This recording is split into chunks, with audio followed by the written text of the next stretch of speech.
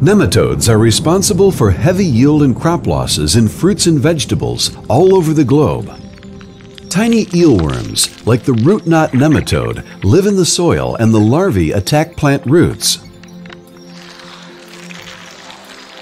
Nematodes penetrate the root, start to reproduce, and cause root galling. They suck water and nutrients from the root system. Infested plants suffer and show poor growth. Fluopyram from Bayer stops the attack. The active substance is applied to the soil via a drip irrigation system, allowing it to precisely target the root system. Treated nematodes rapidly become paralyzed and remain needle-shaped until they die off.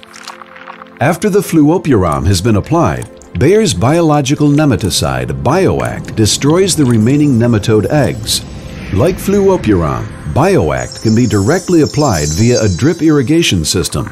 The fungus starts to parasitize the nematode eggs and prevents the larvae from hatching and infecting new roots. The healthy root system enables good plant growth and high yield production. Bayer. Science for a better life.